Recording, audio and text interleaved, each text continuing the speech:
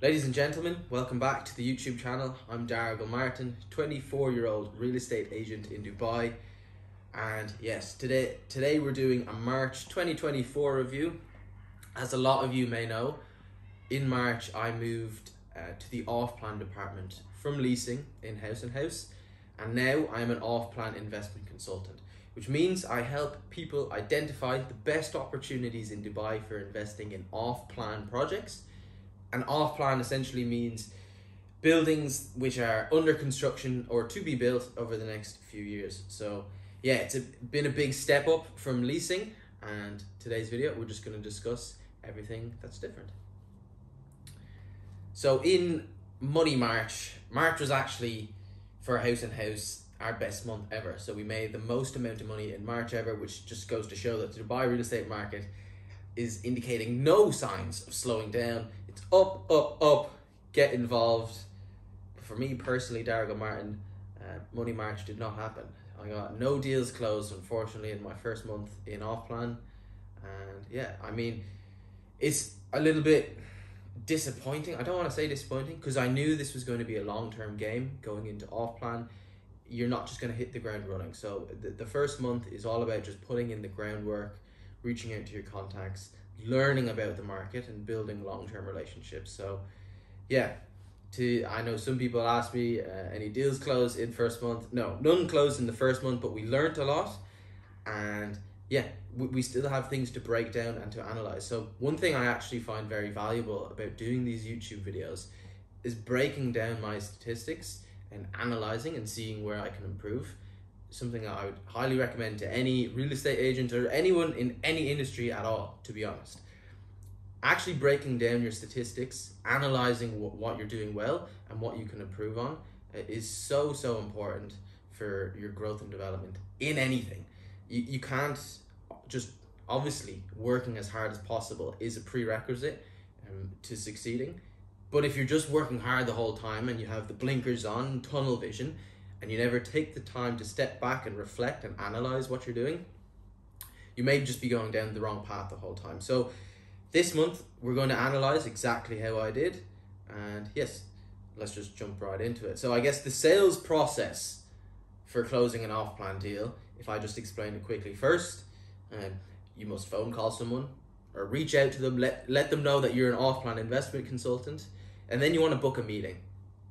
So in this first month of March, I transitioned from leasing to off plan. I was mainly focusing on and reaching out to the landlords whom I rented their apartments and also other landlords who I just had close relationships with. Maybe I listed their apartment online, but some other agents uh, managed to rent it for them, and also then tenants who I rented to. So I was reaching out to all my warm clients and just letting them know hey, I'm an off plan investment consultant and yeah, pitching an in-person meeting. So at haus and haus, we have an investment committee, and this is what I was pitching to people because when you're reaching out to these people, I, they know I rented their apartment or I rent um, an apartment to them. They know I'm not an expert, but what's very beneficial to them is knowing that haus and haus has an investment committee where some of our senior investment advisors have over 20 years worth of experience in the Dubai real estate market which is a huge time here in Dubai. The entire city is, was essentially built in the last 20 years. So we have senior investment advisors that have seen the entire growth of the city, and every single project that we are allowed to pitch to our clients has to be first vetted and approved by this investment committee.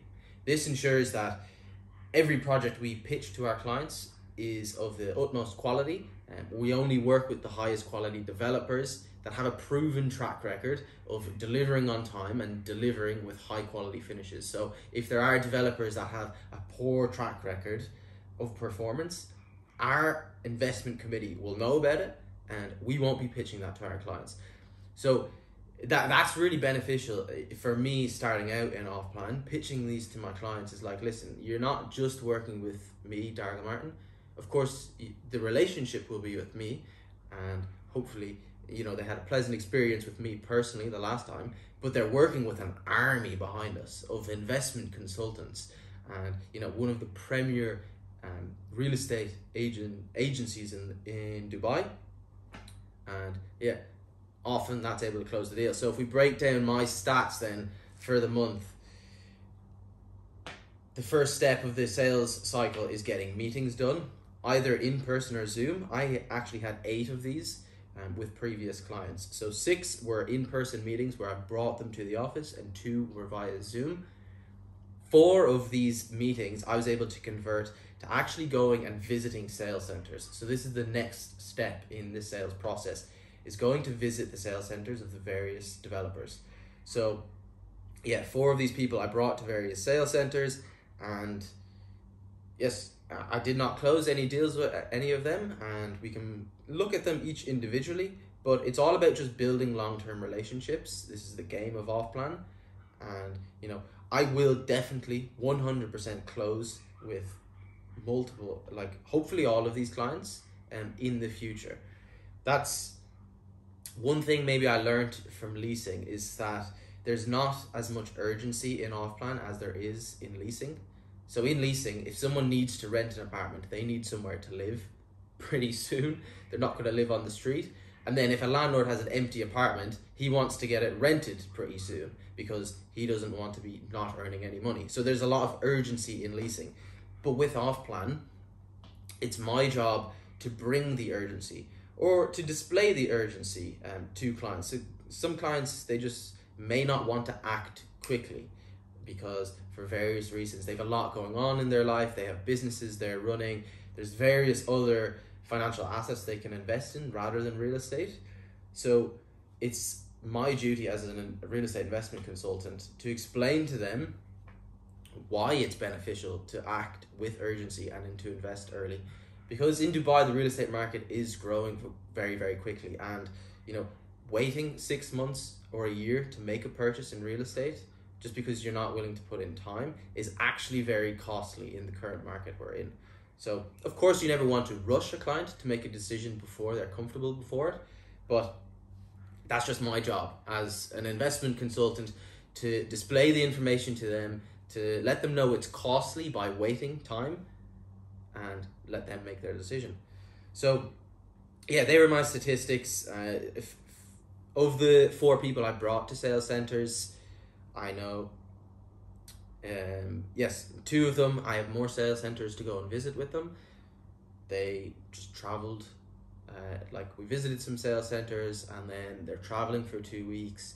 So we're going to visit some more when they come back another this is the one is the the deal lost out on and i say that with quotation marks around it because i don't really see this as a deal lost out on because i think we will close in the future but yeah one particular client and this is the main story of the month one particular client i rented his apartment to him so on Emaar beachfront he uh, he lives there now, and yeah, I obviously gave him a professional experience renting the apartment to him.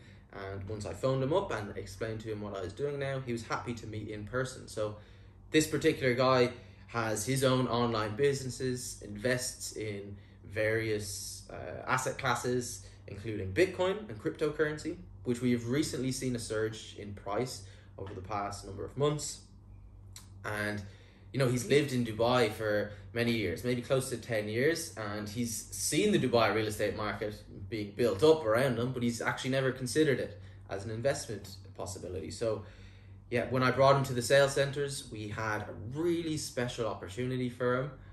And, you know, maybe I can go into detail about that opportunity in another video. It was Rove Home by Marasi Drive, or Rove Home in Marasi Drive, rather.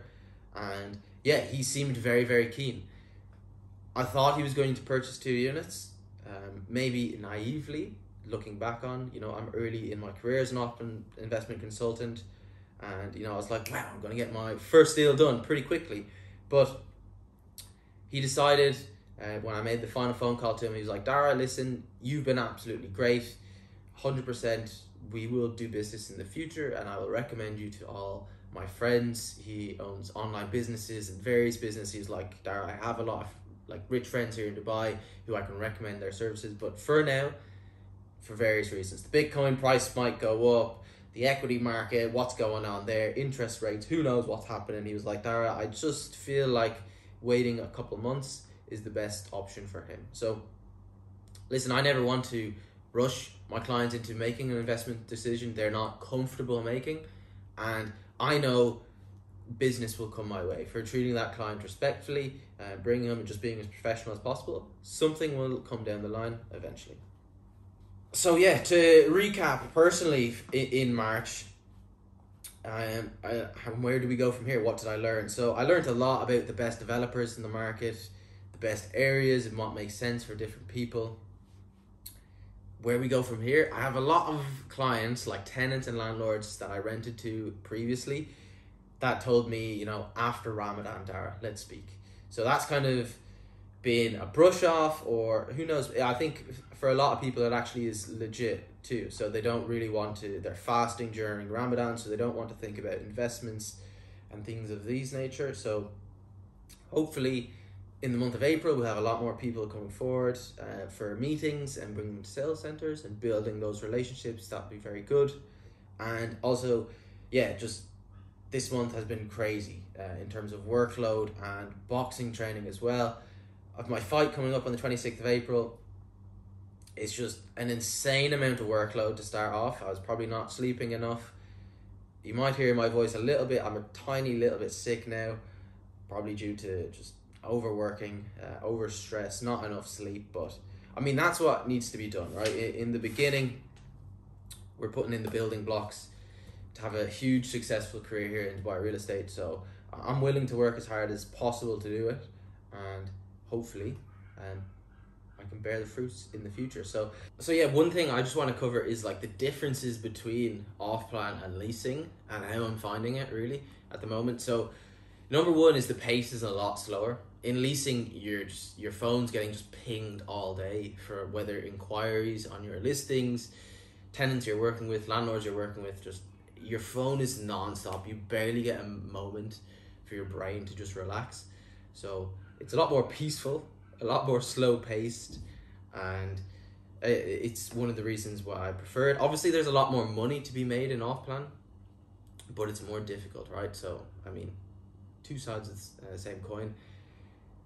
How it's different to leasing as well is that it's very much focused on building long-term relationships with your clients. So I mentioned you know these deals i'm bringing people to the sales centers and they're like yeah maybe in a couple months and stuff like this i need to just keep them continually updated on the market how it's performing and where the best opportunities are so that when it time time comes to invest maybe a year down the line if it takes that long you know i built that relationship the whole time so you know in leasing you're you know getting an inquiry from someone you're going viewing the apartment you could wrap it up in a day realistically so that's very much of a bigger difference in off plan. And then finally, off plan is actually very intellectually stimulating, which is the main reason I'm really actually enjoying the job. In leasing, you're not really using your head to think that much. It, it's a lot like monkey work, to be honest. You're just trying to get as many listings as possible. You just want to be working constantly, just replying to people. But you know the the problems and the situations you face are just the same over and over and over. You're just trying to qualify an applicant, see what they want, and you're just trying to reduce prices on the landlord. It's just it's just basic work, and it's not that intellectually stimulating. Versus off plan is very very interesting. So you get to study the history of Dubai real estate, which might be an interesting video for me to make actually. Study like urban economic plans that the Dubai government and the ruler has set forth the vision for the future and you're just studying kind of all these different developers what their history is like and what they're developing now. It's just a lot more intellectually stimulating and getting to research things which suits me a lot better. And yeah that slower pace building relationships intellectually stimulating. Just I, I really know i've made the right decision and going into off plan. One last thing to mention i actually spoke to our haus and haus creative team marketing team during march. And yeah, a podcast might be coming for from yours truly, Daragh Gilmartin, haus and haus podcast. Well, it's not going to be branded haus and haus. It's going to be my podcast, and I think it'll just be very interesting, maybe to interview and pick the brains of some of the highest performing real estate agents in haus and haus. I think, I think this could be huge. I think it could be really, really interesting to understand you know their strategies for how they make so much money. What are the systems they have in place, and also what is what's their journey been?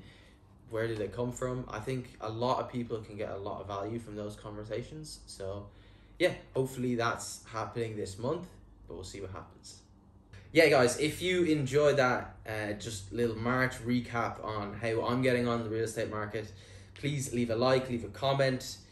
Watch any of the other videos if you want to know my insight insights on the best areas to invest in the Dubai real estate market. And of course, if you want any, if you are actually interested in investing in the Dubai real estate market, you can always book a call with me with using the link below and I'll be able to you know get to know you better get to know your investment strategy and pitch what our investment committee and our army of investors say is the best investment for you. So thank you very much for uh, guys for watching and I'll see you in the next one